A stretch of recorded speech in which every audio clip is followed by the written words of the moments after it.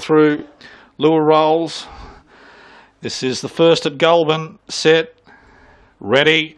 Racing. Pencil was a little slow. It's mustering now with Legit Tees and Titanium Black punching up, but going to the lead was Legit Tees.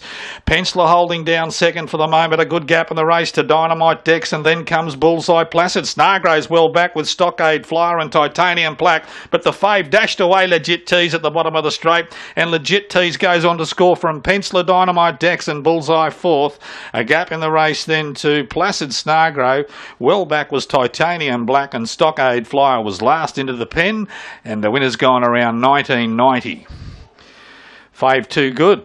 Legit tees was momentarily headed at box rise by Penciler, but he was able to take up the running legit tees and get the favourite backers off to a good start.